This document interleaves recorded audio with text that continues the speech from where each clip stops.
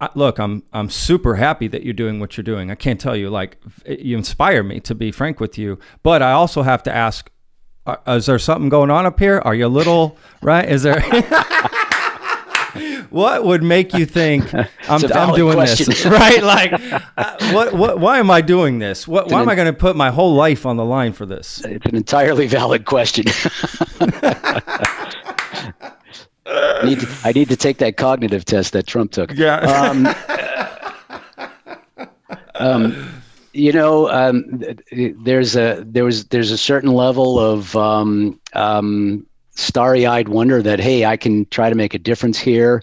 Um, uh, I ask myself the same question literally every day for the last three years. I mean, literally every day. There's a moment every day where you think to yourself, "What were you thinking?" I mean, it's sure there are moments where it's great fun and you're you're you you have little brief you know blips of fame and all that stuff. Oh i'm on kbtx that's great you know and and there's you know there's there's certainly fun aspects to it. Uh, i i used to love knocking on doors and just starting conversations with complete strangers which which was entirely out of character for me.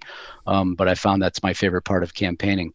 But every day there's a point in every day where you go ah oh, this is just awful. And and for me it's usually around raising money right? Just yeah. the the pressure to raise money and the knowledge that if you cannot raise money um, that um, you know this already tilted field just tilts ever more you know steeply against you if you if you can't raise the dollars to uh, to get your message out. So yeah it's uh, it, it it's it's not easy.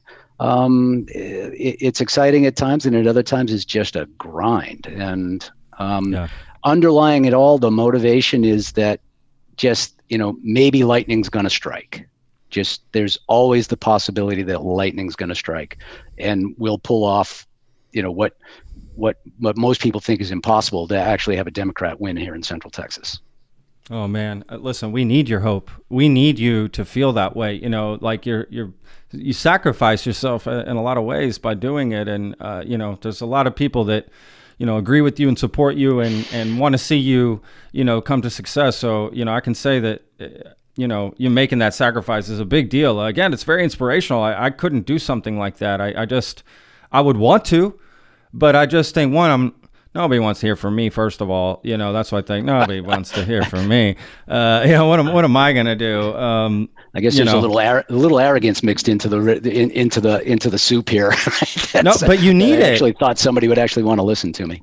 But I think you need that. You you felt you could make a change and you went for it. You know, yeah, I exactly. I really I respect that. Um, you know, I you know you got to respect that. There's just something very very respectful about that.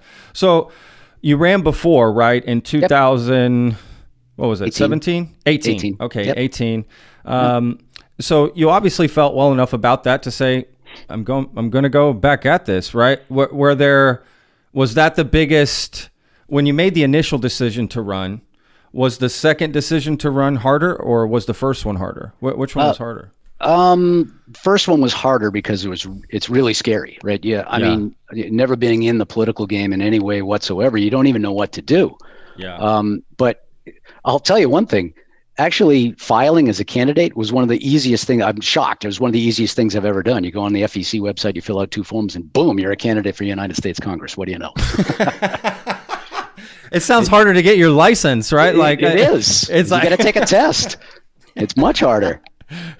Um, but I'll tell you a story. Very, uh, you know, I I started this. I uh, there's no definitive date for when I started it, but I always use September 1st of 2017 because that's our, it was in there.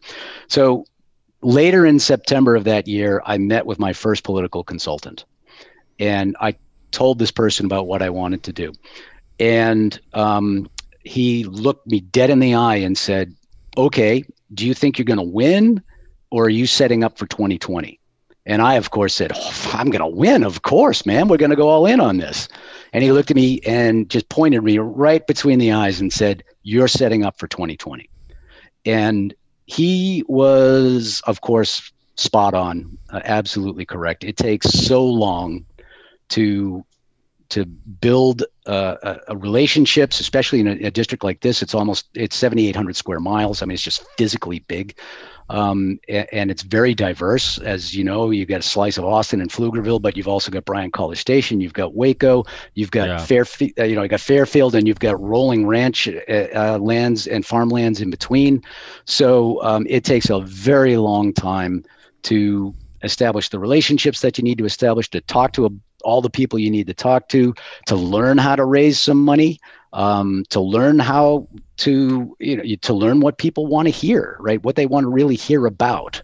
Um, and that doesn't mean you you compromise your your your your message or your your principles to tell people what they want to hear but it's more about how you're conveying your message.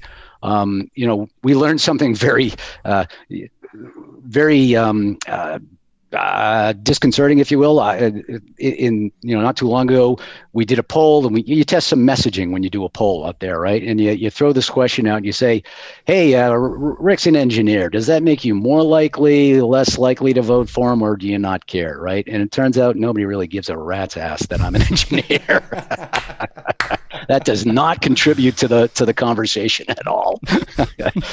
you know, and if you had asked me three years ago, I would have said, "Hey, you know what? Uh, that's really going to appeal to people because they're going to want a logical thinker rather than this this political baloney." But you know what? They don't care.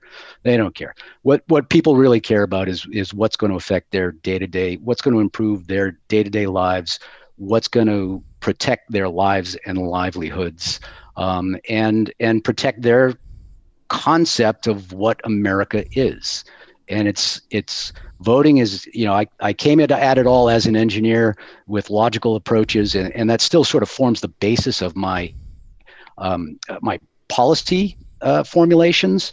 Um, but people's voting decision is is 99.9% an emotional decision right and and you've you've got to recognize that and you've got to you've got to be able to learn to communicate along those lines rather than well, you know, if I uh, if we um, if we simply cut down on our addiction problem, then this that you know this that and the other thing, uh, you know, the win win win win win. We we save lives. We take pressure off the border. We we deprive the cartels south of the border of a, of a revenue stream. And if we do that, we increase the security environment, so we'll have less asylum seekers coming to the to southern border. So there's four wins by cutting down on our on our um, uh, addiction problems.